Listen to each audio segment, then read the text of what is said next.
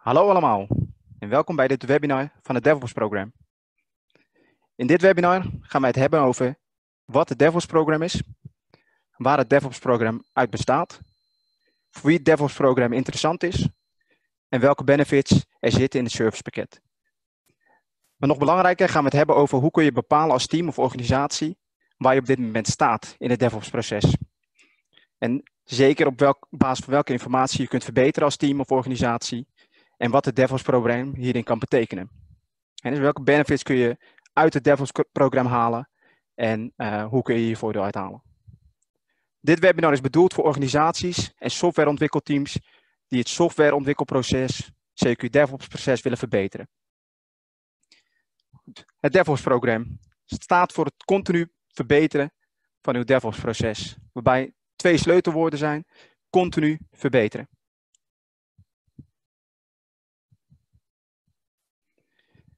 Ja, goedemorgen. Ik ben Marcel Groenau, DevOps Consultant bij Delten. Ik zal samen met uh, collega Miguel uh, dit webinar verzorgen. Uh, Miguel doet een stuk introductie van het DevOps-programma en ik zal wat meer ingaan op wat DevOps is en uit welke elementen het bestaat. mijn contactgegevens staan hieronder vermeld. mocht u meer informatie willen hebben of mij persoonlijk willen benaderen, dan staan hier in ieder de details. Ik zal mezelf ook even voorstellen. Miguel Asmus. Ik ben accountmanager bij Delta N. Ik hou me voornamelijk bezig met DevOps gerelateerde zaken. Ik adviseer organisaties met het verbeteren van het ontwikkelproces middels het DevOps-programma.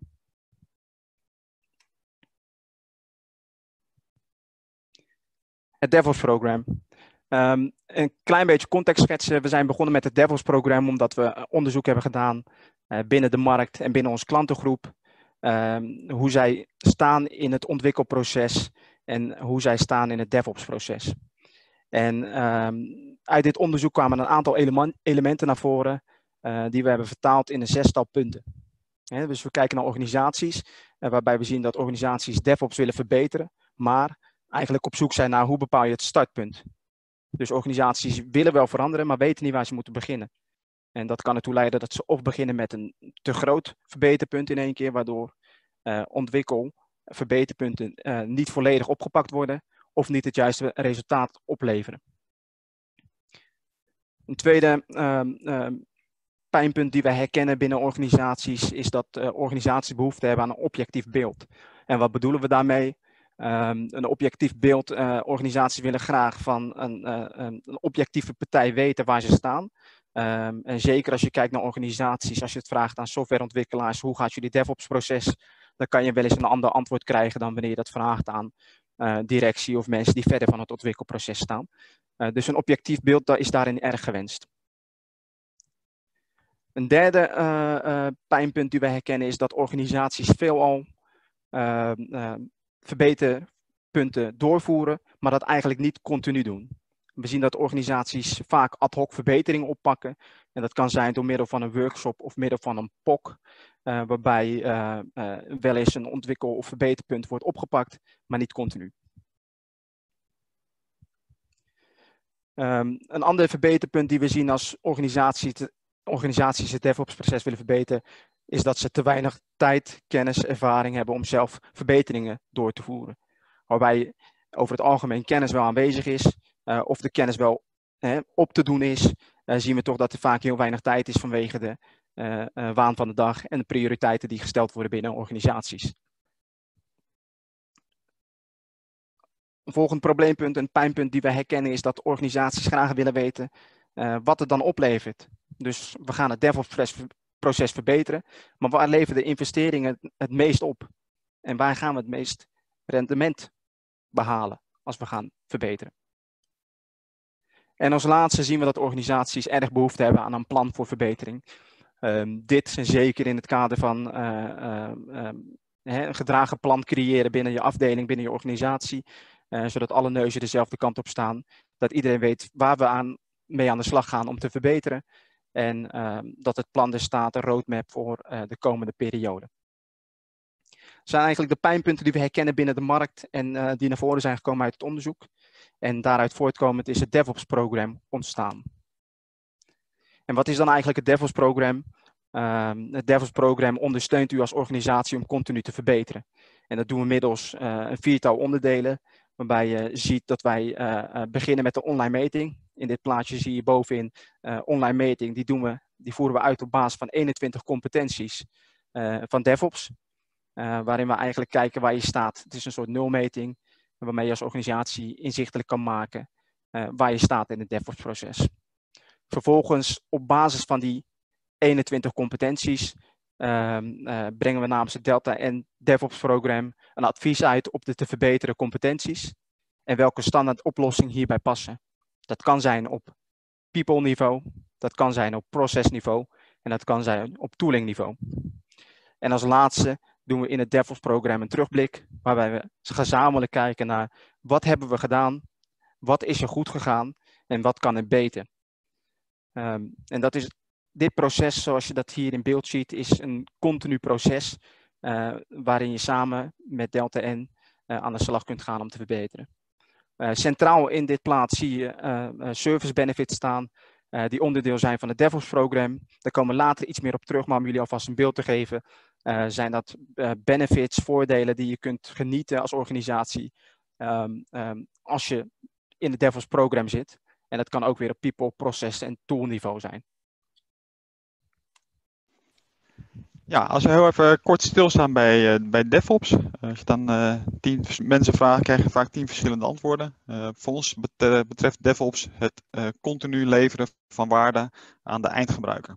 En dat op het gebied van people, process en tools. en daar is het programma ook op geënt. het bestaat uit deze vier elementen die hier staan genoemd. Online meting, verbeteradvies, service benefits en de terugblik.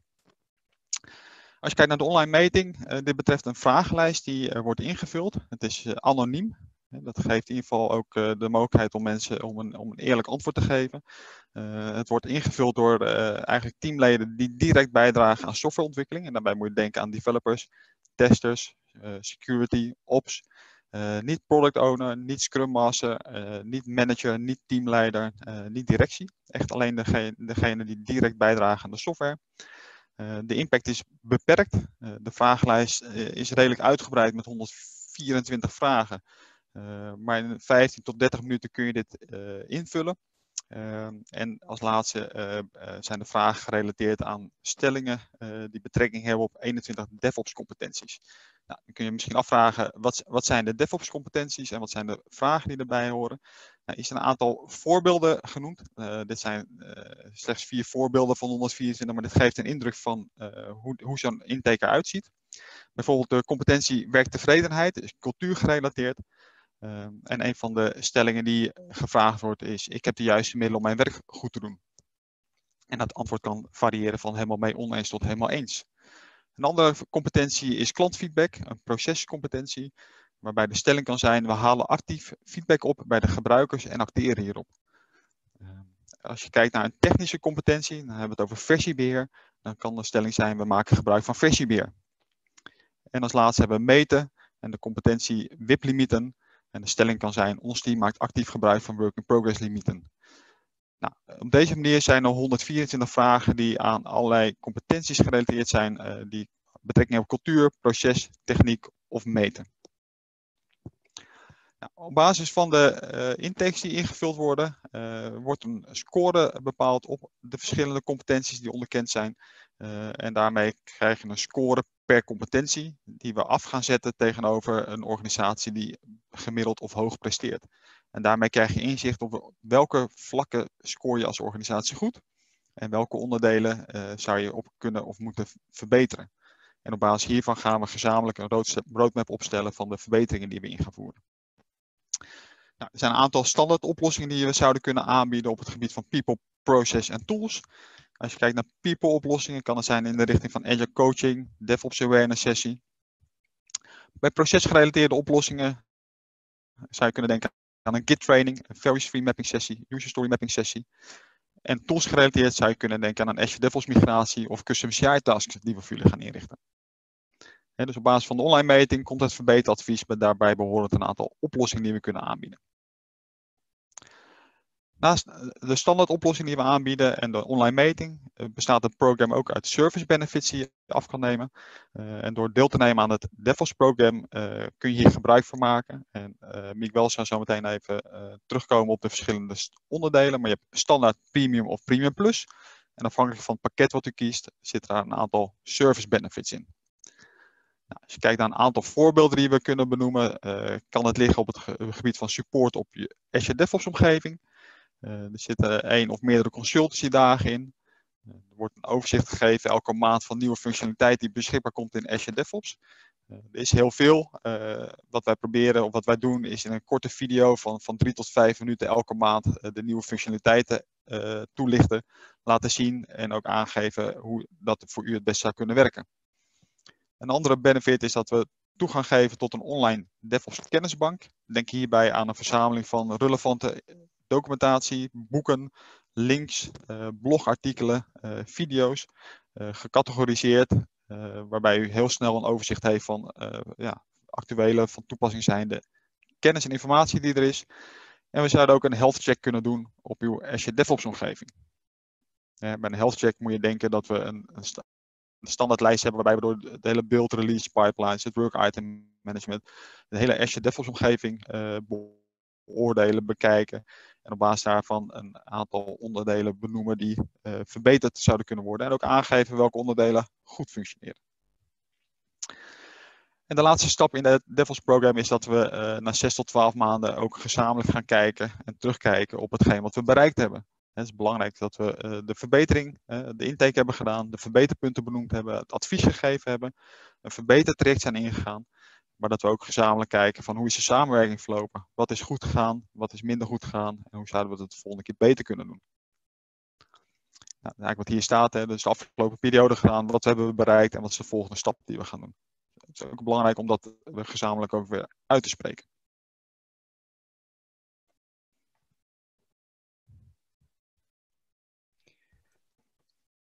even terugkomend op het DevOps-programma en de service benefits die uh, wij bieden in het programma. Uh, dat is onder te verdelen, zoals Marshall aangaf, in drie pakketten. waarbij we beginnen met het standaardpakket, waarin de volgende onderdelen zijn inbegrepen. Um, in het standaardpakket zit bijvoorbeeld één keer een DevOps online meting, daar beginnen we mee.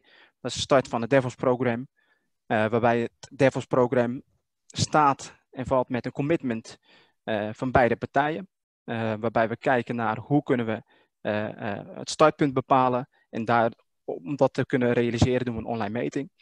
op basis van de online meting brengen we één keer een adviesrapport uit. En als bijkomend voordeel kun je tooling niveau drie keer um, een Azure DevOps support case indienen die we aanbieden in het DevOps progress, pro programma standaard. Um, je kunt één consultiedag inzetten um, gedurende heel het traject. Je krijgt maandelijks een update van de nieuwe functionaliteit van Azure DevOps uh, in een korte video-update. Uh, daarbij houden we een online kennisbank bij met relevante artikelen uh, over DevOps en die relevant kunnen zijn voor u als DevOps organisatie, team. En wij delen de kennis in onze klantomgeving binnen het Delta N-team. En wat bedoelen we daar eigenlijk mee en wat is het voordeel hiermee? Is dat je um, niet een persoon inhuurt, maar je huurt eigenlijk een DevOps Delta N team in, uh, waarbij we de juiste persoon op het juiste moment tegen de juiste tarief kunnen inzetten. Uh, traditioneel zie je dat organisaties een consultant inhuren uh, die zowel op people, process en tool niveau helpt met verbeteren, terwijl dat wellicht niet zijn sterkste expertise is om dat alle drie te doen, heb je in het Delta N DevOps program uh, de juiste expertise op het juiste moment. Daarnaast hebben we een premium pakket, waarbij je uh, een aantal variabele dingen hebt ten opzichte van het standaard pakket, waarbij we twee keer een online meting doen. Um, de tweede meting doen we na een half jaar om te evalueren waar we staan, of er veranderingen zijn, of er verbeteringen zijn, of wat ze andere dingen moeten oppakken. We brengen dus logischerwijs ook twee verbeteradviezen uit. Uh, op basis van de twee keer online meting. Um, wat je ziet is dat je um, zes keer uh, Azure DevOps support cases kunt indienen. Um, en twee consultatiedagen kunt inzetten gedurende de periode. Uh, hierbij heb je ook weer natuurlijk de maandelijkse update. toegang tot de kennisbank en wordt de kennis die we opdoen gedeeld in het Delta N-team. bijkomend voordeel is dat je bij het premium pakket één keer een Azure DevOps health check hebt op je omgeving. Ehm, dus dat kan zijn op de inrichting van je Azure DevOps omgeving. Um, heb je dat op de juiste manier ingericht? Wat zijn de best practices? En ehm, hoe, kijkt Delta N daarna? Wij bieden één keer een Agile Awareness sessie in het premium pakket. Waarbij we uh, nieuwe medewerkers of gewoon de teamleden kunnen helpen met het Agile gedachtegoed. En we bieden één keer Agile Leadership Coaching. En dat is bedoeld voor de kwartiermakers binnen de organisatie wat betreft Agile. En als laatste hebben we een Premium Plus pakket die we aanbieden. Waarbij je ook weer in het oranje ziet de variabele dingen. Uh, waarbij we twee keer een online meting doen, twee keer een verbeteradvies. 10 Azure DevOps support cases kunt indienen per maand. En hierbij krijg je vier consultatiedagen die je gedurende het traject kunt inzetten. En nogmaals een maandelijkse update over de nieuwe functionaliteit van Azure DevOps, de online kennisbank. En de kennis wordt uiteraard ook weer gedeeld in het Delta N-team. Uh, bijkomend voordeel van het Premium Plus pakket is dat je twee keer een Azure DevOps Health Check krijgt op je omgeving. En twee keer een Agile Awareness sessie en twee keer Agile Leadership Coaching. Dat is in een notendop waar het DevOps-programma uit bestaat. Um, voor wie het DevOps-programma interessant is, ontwikkelteams en organisaties die willen verbeteren. En dit zijn de benefits die het DevOps-programma biedt. Nou, dat is het verhaal dat, waar wij jullie in willen meenemen. Uh, we hopen dat jullie er wat aan gehad hebben. Mochten jullie nog vragen hebben, voel je vrij om contact met ons op te nemen. Um, dat kan zowel met Marcel of met mijzelf, Miguel Asmus. Um, en we horen, hopen van jullie te horen. Mocht er nog vragen zijn, dan horen we graag.